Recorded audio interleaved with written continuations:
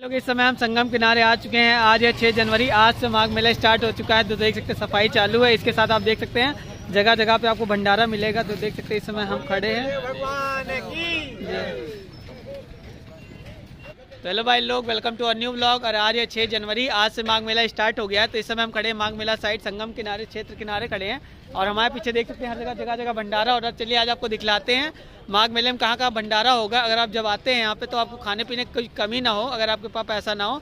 तो चलिए, आपको खिलाते हैं माघ मेले में कहाँ कहाँ भंडारा। हो रहा है अपने हैं, माघ मेला मेले सब करवा रहे हैं। तो चलिए, अब सबसे आपको बात कराते कि करके देख सकते हैं भाई लोग ने हमारा लया दिया है।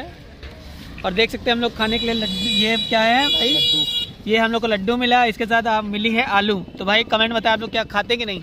छः जनवरी है, ले चलते हैं आपको दिखलाते। हैं एक टेंट के अंदर जहाँ भाई कल्पवासी लोग रहते हैं तो अपने भाई सौरभ भाई चलते हैं, इनके आपको दिखलाते हैं। इनके मम्मी पापा कल्पवासी हैं।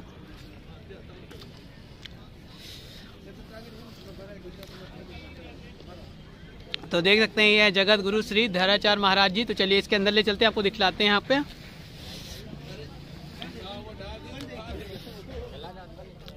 हमारे महाराज जी का है। ये उनकी कुटिया है वो उनका ये महाराज जी है। हम्म, ठीक है? ये कल्पवासी हैं जितने लोग हैं। पकड़ चप्पल उतार रहे हैं। लोग वीडियो रोक चलिए ले सकते हैं ये है गुरुजी महाराज है इन्हीं के यहाँ कुटिया है तो देख सकते हैं आप यहाँ पे। हवन कुंड ये है हवन कुंड है। ये महाराज जी ये महाराज जी कुटिया है। चलते आपको महाराज जी का आश- आशीर्वाद आपको दिला सकते हैं। आशीर्वाद। भगवान गोपाल जी। भगवान गोपाल जी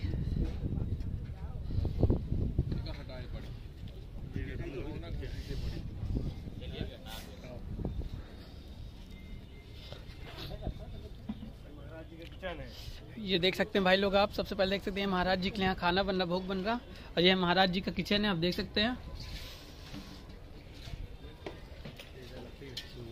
ये पूरी लकड़ी बनी लकड़ी भाई ये महाराज जी कहाँ से आए हैं? ये है रा, राजापुर चित्रकूट राजापुर चित्रकूट? जी। भाई ये राज इलाहाबाद वाला प्रयागराज वाला राजापुर नहीं है चित्रकूट वाला राजापुर है। और देख सकते हैं आपको ले टेंट के अंदर ले चलते दिखलाते हैं जो कल्पवासी आते यहाँ रहते हैं। तो आप देख सकते हैं है। ये भगवान जी का सबसे पहले आप भगवान के दर्शन कर लें। चप्पल बाहर ये इधर आपका अच्छा यहाँ मतलब कल्पवासी रहे आपके हाँ, मम्मी पापा रुकने पापा का। एक मिनट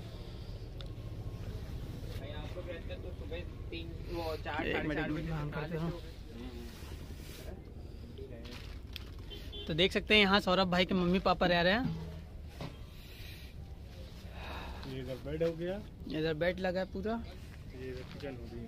अच्छा ये लोग आप लोग खाना अलग उनका खाना अलग बनता है। खाना अलग बनता है। तो भाई आपको जैसे ये बताइए आप जैसे आप यहाँ पे आए तो आपको टेंट कितने पड़ा है? कल्पवासी के लिए आप लिए हैं पूरा। वाला टेंट पड़ रहा है आठ हज़ार का और वो छोटा वाला कितने दिन के लिए? एक महीने। एक महीने जब तक कल्पवासी रुकते हैं। और इसके लिए अगर आपको कोई लेना हो तो कैसे लेता है पूरा? वो जो किसी ब्राह्मण हैं जो पंडित हैं हम्म। उनके अगर आप उनके आश्रम में आएँगे तो वो आपको चार्ज करेंगे जितना भी चार्ज आपका लग रहा है फिर आप उनके यहाँ रह सकते हैं। बस। तो सौरभ भैया आप हैं कहाँ से मैं बेसिकली कोसाम्बी से हूँ, चंपा। कोसाम कहाँ पे? चंपा बाज़ार चंपा। चलिए भाई मिलते हैं। थैंक यू सो मच तो देख सकते हैं भाई हम लोग सौरभ भाई से मिल चुके हैं। इसके बाद अब ले चलते हैं आपको और माघ मिलान दिखलाते हैं। ऐसे ही वीडियो के लिए हमारे चैनल को लाइक करें सब्सक्राइब करें और ले चलते हैं अब आपको और यहाँ दिखलाते हैं। वो छोटे वाले टेंट जो है वो के।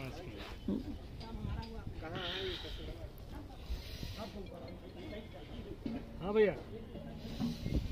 तो ऐसे देख सकते हैं ये सब छोटे टेंट है ये वाले ना पूरे। तो अगर भाई ये सब आप टेंट लेते आते हैं लेते हैं तो ये आपको पड़ेगा पाँच हज़ार के टेंट पड़ेंगे सब। हेलो आप कहाँ पे हैं सिविल लाइन महाराज जी आशीर्वाद दे थोड़ा। हाँ, हाँ, आ बड़े हो आशीर्वाद। ये बैनर है बैनर हाँ हाँ बैनर सब ले लिए। डाल देना बिल्कुल बिल्कुल। भाई लोग अगर आप यहाँ पे आते हैं तो आपको बता दें खिचड़ी वाले दिन अगर आप यहाँ पे आएँगे तो आपको यहाँ भी भंडारा मिलेगा चौदह तारीख को। तो यहाँ बहुत पाँच छह तरीके का आइटम मिलेगा।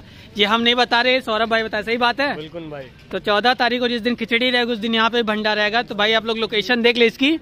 जगत गुरु श्री धराचार महाराज जी का आश्रम, जैसे ही आप आएँगे गंगा जी क्षेत्र में आएँगे, सबसे पहले जो चौराहे पे आएँगे, गंगा आरती, जस्ट बगल वाला टेंट जो है, यही वाला तो सबसे पहले यही भंडारा मिलता है।